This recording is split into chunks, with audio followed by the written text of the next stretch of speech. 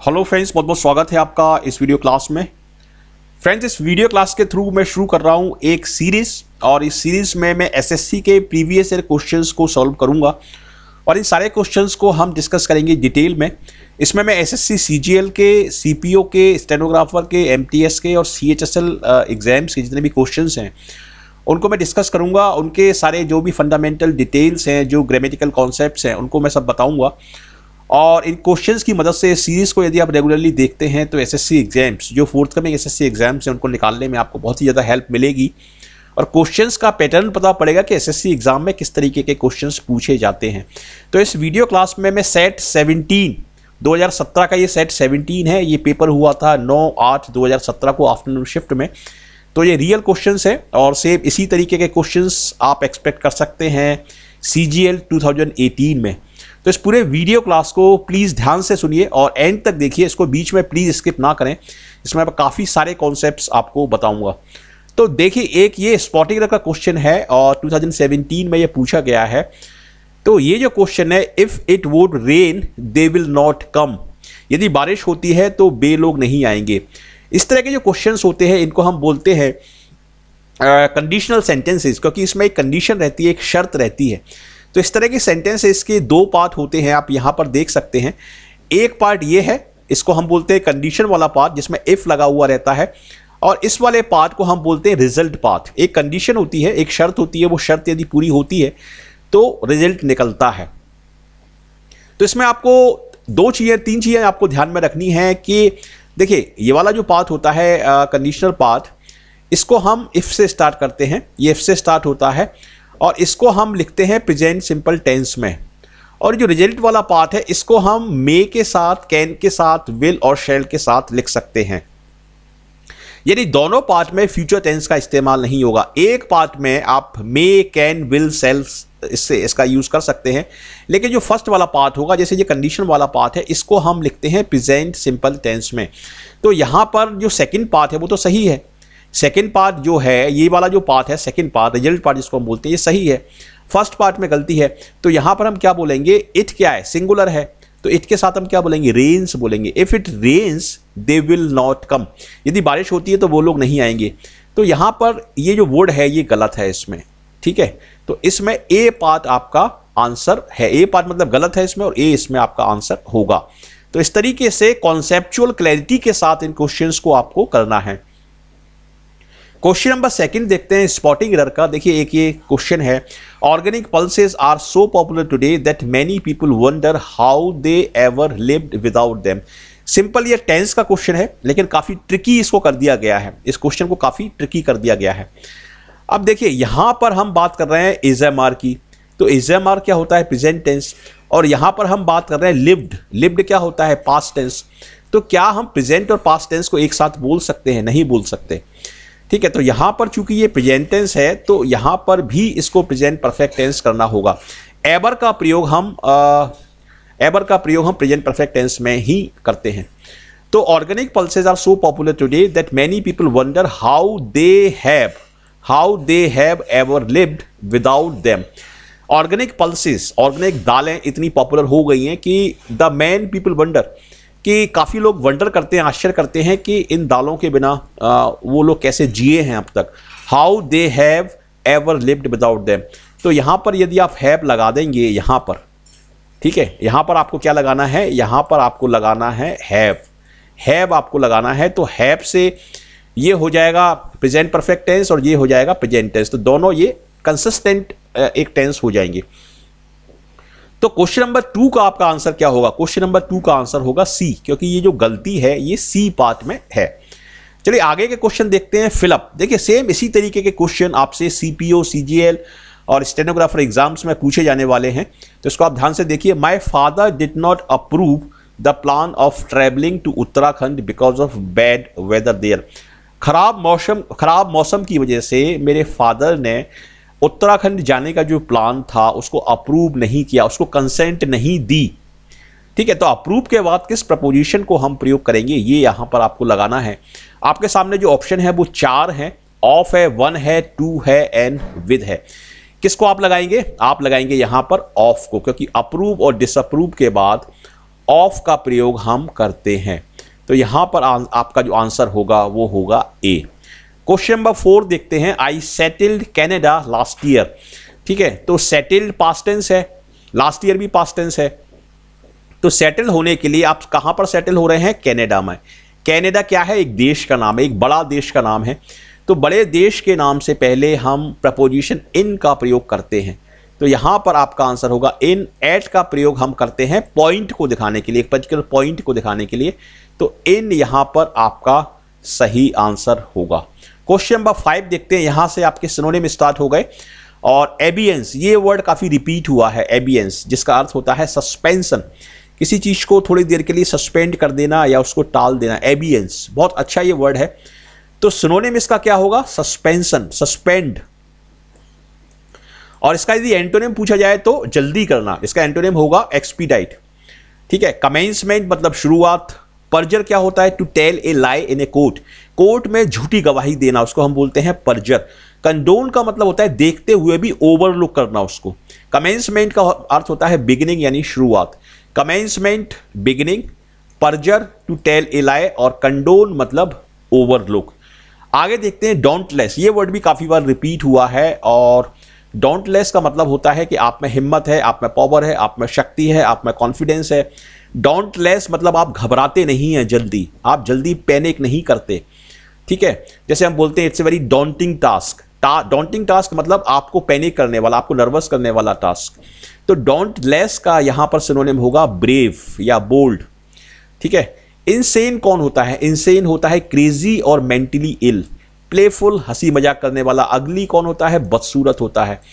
तो डोंटलेस के और सिनोनिम क्या हो सकते हैं? डोंटलेस के सिनोनिम हो सकते हैं रिजोल्यूट डिटरमिंड और बोल्ड रिजोल्यूट डिटरमिंड और बोल्ड इनसेन का अर्थ होता है क्रेजी और मेंटली इल तो यहाँ पर ये सारे रियल क्वेश्चंस हैं। एंटोनिम यहाँ से स्टार्ट हो गए। क्लैंडिस्टाइन ये वर्ड भी काफ़ी बार रिपीट हुआ है। क्लैंडिस्टाइन का अर्थ होता है किसी चीज़ को जब आप सीक्रेटली करते हैं दैट इज़ कॉल्ड क्लैंडिस्टाइन लेकिन यहाँ पर क्या चाहिए आपको? यहाँ पर चाहिए एंटोनिम तो एंटोनिम होगा इसका ओपन जो कि सीक्रेट का उल्टा है। एब्रप्ट का क्या अर्थ होता है? एब्रप्ट का अर्थ होता है सडन और अनएक्सपेक्टेड सडन और अनएक्सपेक्टेड अचानक से किसी काम को करना इलिसिट मतलब इलीगल वेरी मतलब केयरफुल ये भी एक अच्छा वर्ड है। वेरी केयरफुल होना या कॉन्सियस होना। तो इन इन सारे वर्ड्स के मीनिंग मैं यहाँ पर बता रहा हूँ। एब्रप्ट का मतलब सडन इलिसिट मतलब इलीगल वेरी मतलब केयरफुल और एक इलिसिट और होता है E L I C I T इसमें डबल एल नहीं आता। E L I C I T इस इलिसिट का मतलब होता है इवोक और ड्रॉ आउट इंफॉर्मेशन किसी व्यक्ति से सूचना या इंफॉर्मेशन निकलवाना, इसको हम बोलते हैं इलिसिट और ये जो इलिसिट होता है, जिसमें डबल एल आता है, इसका मतलब होता है इलीगल इस वेरी का मतलब होता है केयरफुल या कॉन्सस तो इस तरह से क्वेश्चंस आपके एग्ज़ाम में पूछे जाते हैं। यदि आप C G L C P O stenographer exam में 100 परसेंट श्योर सिलेक्शन लेना चाहते हैं, किसी भी कीमत पर आप श्योर सिलेक्शन लेना चाहते हैं तो उन सभी एस्पायरिंग स्टूडेंट्स के लिए मैं एक नया टारगेट बैच स्टार्ट कर रहा हूँ, एक नवंबर से। ये ऑनलाइन पेड क्लासेज हैं। और इसमें केवल 50 सीटें रहेंगी, इसका लिंक नीचे डिस्क्रिप्शन बॉक्स में मिल जाएगा, वहाँ से इस बैच को ज्वाइन कर सकते हैं। इसमें मैं आपको टीयर वन टीयर टू और टीयर थ्री की इंग्लिश और जीके की इंटीग्रेटेड प्रिपरेशन बहुत ही कम फ़ीस में करवाऊँगा। तो इसका लिंक आपको नीचे डिस्क्रिप्शन बॉक्स में मिल जाएगा, वहाँ पर जाके इसका पूरा डिटेल देख सकते हैं। और इसमें केवल पचास ही सीटें अवेलेबल रहेंगी। क्वेश्चन नंबर एट देखते हैं। एंटोनिम के क्वेश्चन है। इंट्रैपिड इनट्रैपिड देखिए इंग्लिश में एक वर्ड होता है ट्रेपिडेशन जिसका मतलब होता है घबरा जाना। ट्रेपिडेशन मतलब घबरा जाना या पैनिक हो जाना। तो इनट्रैपिड मतलब नहीं घबराना या पैनिक नहीं होना। तो इसका मतलब क्या होगा? फियरलेस होना या बोल्ड होना। फियरलेस होना या बोल्ड होना। लेकिन यहाँ पर आपको सिनोनिम नहीं चाहिए। यहाँ पर क्या चाहिए? एंटोनिम तो एंटोनिम क्या होगा? मीक मीक मतलब सीधा सादा दब्बू सबमिसिव जो बोल्ड नहीं है, जो बात तुरंत मान लेता है दैट इज़ कॉल्ड मीक तो antonym of intrepid is meek ठीक है? ग्रीड क्या होता है? ग्रीड होता है लालच काइंड दयालु, साई का अर्थ होता है आहें भरना। तो इंट्रो इंट्रैपिड के सिनोनिम्स क्या हो सकते हैं? फियरलेस हो सकता है बोल्ड हो सकता है। मीक का सिनोनिम क्या हो सकता है? सबमिसिव और जेंटल हो सकता है। साई का मतलब आहें भरना ग्रीड का मतलब लालच और डिज़ायर फॉर मोर ठीक है? तो इस तरीके से ये वर्ड भी काफ़ी इंपॉर्टेंट है और कई बार एसएससी एग्ज़ाम्स में पूछा गया है। इंट्रेपिड का एंटोनिम होगा मीक और इंटरप्रेट के सिनोनिम्स होंगे फियरलेस और बोल्ड नेक्स्ट क्वेश्चन देखते हैं इडियम और फ्रेजेस के। To steal a march to steal a show भी होता है टू स्टील अ मार्च और टू स्टील अ शो इसका मतलब दूसरों से आगे निकल जाना, बहुत अच्छी परफॉर्मेंस देना कहीं पर। दूसरों को आउट शाइन कर देना। दूसरों को आउट शाइन कर देना। तो to steal a march to steal a show outshine इसका सही आंसर होगा। Outshine to steal a march in a jiffy ये क्वेश्चन भी काफ़ी बार रिपीट हुआ है एसएससी एग्ज़ाम्स में। इन ए जिफी का मतलब होता है इन ए हरी जल्दी से किसी काम को करना। तो यहाँ पर इसका आंसर होगा something that is done very quickly something that is done hurriedly और something that is done very quickly तो ये इसका यहाँ पर सही आंसर होगा। In a jiffy question number eleven देखते हैं। After he arrived from office he goes to gym देखिए, ये भी एक कंडीशनल सेंटेंस मान सकते हैं इसको आप। इसमें भी दो पार्ट होते हैं। एक पार्ट होता है प्रेजेंट सिंपल टेंस वाला और दूसरा पार्ट जिसको आफ्टर या बिफोर के साथ लिखा जाता है, उसको हम लिखते हैं प्रेजेंट सिंपल टेंस में। After he arrived from office office से आने के बाद ही गोज टू जिम वह जिम जाता है। जिम जाता है मतलब ऑफ़िस से आने के बाद। तो ऑफ़िस से आने के बाद जो काम है वो एक रूटीन काम है, वो डेली होता है, इसलिए इसको आप पास्ट टेंस में नहीं लिख सकते। इसको आपको लिखना होगा प्रेजेंट सिंपल टेंस में। तो यहाँ पर आपको बोलना होगा after he arrives after he arrives ठीक है? सी आपका सही आंसर होगा इसमें after he arrives question number twelve देखते हैं when I first saw Ankit he was playing cricket जब मैंने पहली बार अंकित को देखा तो वो क्रिकेट खेल रहा था।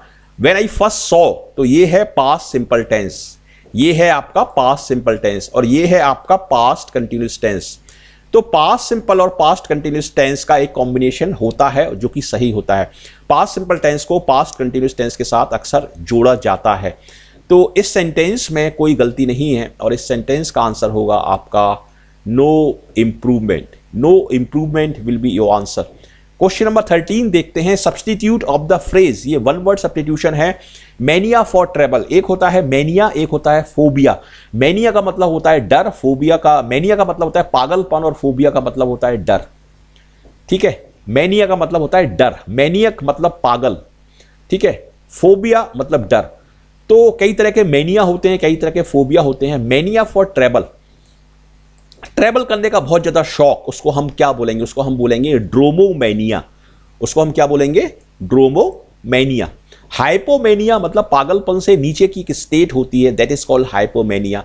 Megalomania मतलब पावर और पैसे के लिए जो जो तड़प होती है, जो डिज़ायर होती है, उसको हम बोलते हैं मेगालोमेनिया और निम्फोमेनिया निम्फोमेनिया का मतलब होता है excessive sexual desire in women तो इस तरीके से मैनिया फॉर ट्रेवल का अर्थ होगा डोमोमेनिया, और यहाँ पर सारे आंसर्स आप देख सकते हैं। क्वेश्चन नंबर 14 देखते हैं। One who has sudden gain suddenly gained new wealth, power और प्रेस्टेज। एक ऐसा व्यक्ति जिसको अचानक से पैसा, दौलत और शौलत मिल गई है। उसको हम क्या बोलेंगे? उसको हम बोलेंगे परवेनु। परवेनु, ठीक है?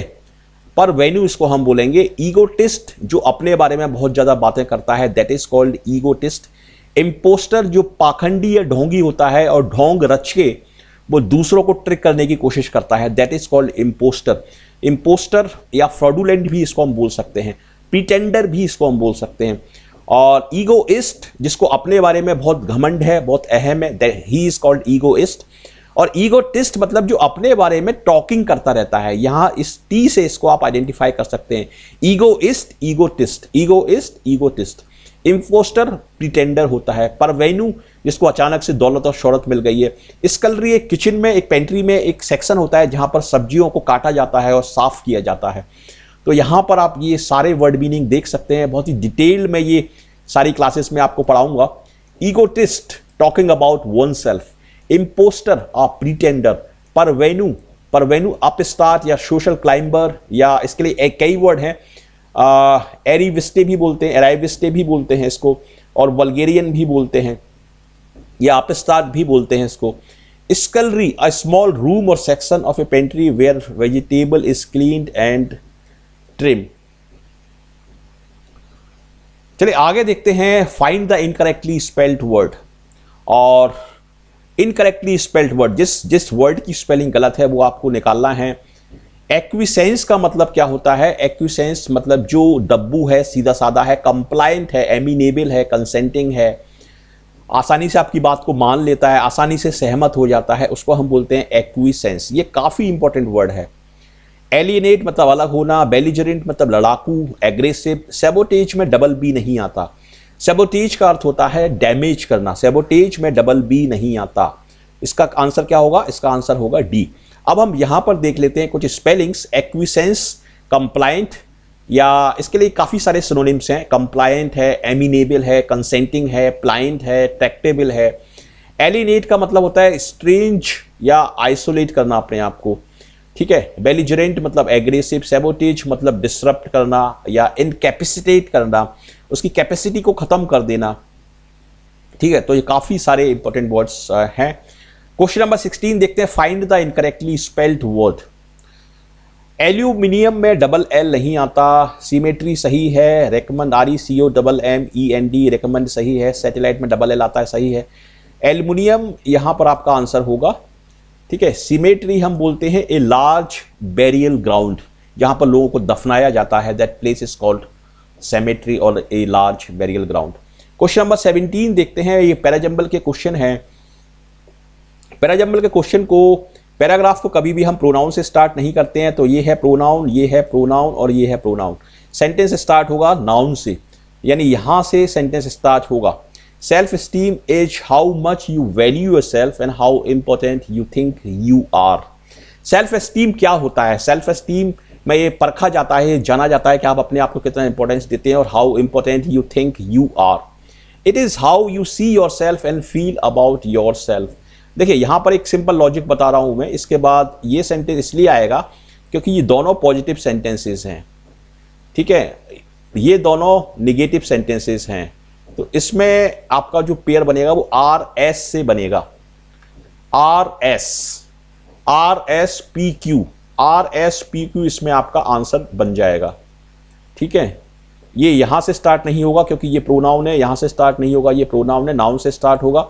और नाउन के बाद, इसके बाद ये सेंटेंस इसलिए आएगा क्योंकि ये दोनों ही पॉजिटिव सेंटेंसेज हैं और ये दोनों निगेटिव सेंटेंसेज हैं। तो इसलिए यहाँ पर आपका सही आंसर होगा R S P Q next question देखते हैं मोस्ट ऑफ़ देम नहीं, यहाँ से स्टार्ट नहीं होगा।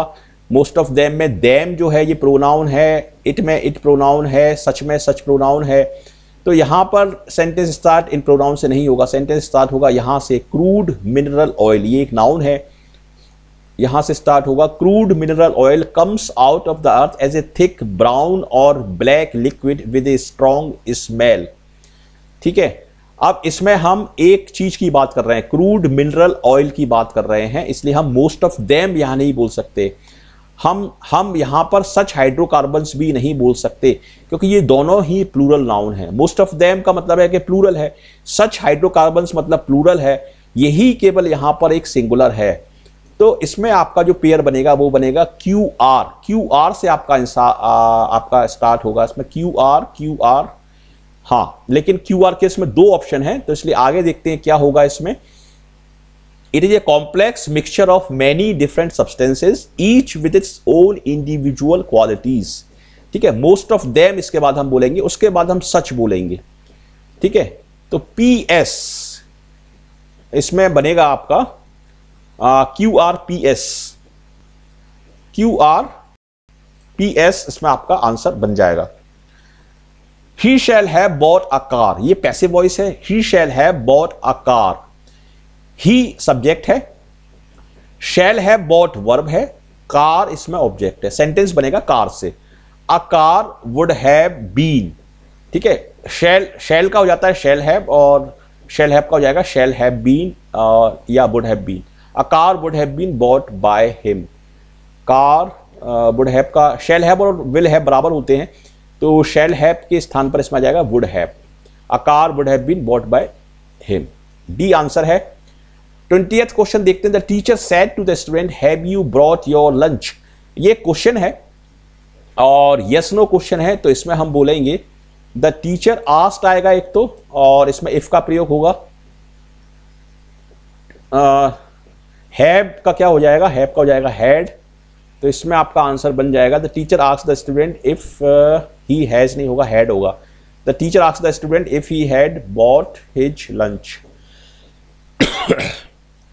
ये यू जो है, ये ऑब्जेक्ट के हिसाब से चेंज होगा, स्टूडेंट के हिसाब से चेंज होगा। स्टूडेंट के, स्टूडेंट क्या है? प्रोनाउन है तो यहाँ पर आ जाएगा हिज। द टीचर आज the student if he had brought his lunch. तो सी इसमें आपका सही आंसर होगा। ये है आपका क्लोज टेस्ट और इसको हम पढ़ते हैं। Children need to be taught the importance of hygiene early on so that it becomes a देखिए, किसी, इसमें बताया जा रहा है कि चिल्ड्रन को, बच्चों को साफ़ सफ़ाई की आदतों के बारे में शुरुआत में ही बताया जाना चाहिए। यदि आप शुरुआत में ही बताते हैं तो ये क्या बन जाएगी? ये एक हैबिट बन जाएगी। तो यहाँ पर आंसर होगा B children need to be taught the importance of hygiene early on so that it becomes a habit children are the most to hygiene related disorder मतलब यहाँ पर क्या बोला जा रहा है कि children are the most vulnerable मतलब बच्चों को हाइजीन रिलेटेड डिसऑर्डर ज़्यादा होते हैं स्किन इश्यूज़ ज़्यादा होते हैं रैशेज ज़्यादा होते हैं। तो बलनरेबल का इक्विलेंट एक वर्ड आपको चाहिए और यहाँ पर एक ऐसा वर्ड भी आप लगा सकते हैं जो टू के साथ मैच करे। और टू के साथ जो मैच करता है वर्ड वो है ससेप्टेबल ससेप्टेबल का मतलब होता है बलनरेबल मतलब वो ज़्यादा प्रोन रहते हैं। Children are most susceptible to hygiene related disorder like skin issue and rashes teach them early on about what to उनको शुरुआत में ही बताना बताना पड़ता है कि क्या चीज़ को हम, अब देखिए रीड राइट और लर्न का तो कोई कोई सेंस ही नहीं बन रहा यहाँ पर। उनको अर्ली ऑन बताना पड़ता है कि क्या चीज़ को आपको अवॉइड करना है। Teach them early on about what to avoid teach them that taking a few measures measures का मतलब क्या होता है? मेजर्स का मतलब होता है उपाय। उनको हमको शुरुआत में ही बताना पड़ता है कि ऐसे उपाय करें कि आपको बीमारियाँ नहीं लगें। तो मेजर जो होते हैं, वो कैसे होते हैं? सावधानी वाले मेजर साइंटिफिक मेजर की हम यहाँ बात नहीं कर रहे हैं। यहाँ हम बात कर रहे हैं प्रिकॉशनरी मेजर्स की। तो बी यहाँ पर आपका सही आंसर होगा। To prevent infection and disease is मतलब उनको बताना कि प्रिकॉशनरी मेजर को लेना ज़रूरी है ताकि बीमारियों से बचाव हो। ये क्या है? ये ज़रूरी है। ये ज़रूरी है तो ज़रूरी का इक्विवेलेंट वर्ड क्या है? इंपेरेटिव तो यहाँ पर इसका आंसर होगा, यहाँ पर इसका आंसर होगा इंपेरेटिव तो इस तरीके से इस वीडियो क्लास में मैंने 2017 का सेट नंबर 17 लिया है। और 25 क्वेश्चन बताए हैं सेम इसी तरीके का आपका सीजीएल टीयर वन का प्री स्टेनोग्राफर का प्री और सीपीओ का प्री होगा, इस तरह के सेम क्वेश्चन आएँगे। और यदि आप टारगेट ओरिएंटेड तैयारी करना चाहते हैं तो एक फ्रेश बैच मैंने स्टार्ट किया है एक नवंबर से, इसको आप ज्वाइन कर सकते हैं। इसका लिंक आपको नीचे डिस्क्रिप्शन बॉक्स में मिल जाएगा। तो इस वीडियो क्लास में इतना ही, अब मैं आपसे मिलूँगा नेक्स्ट वीडियो क्लास में। Thank you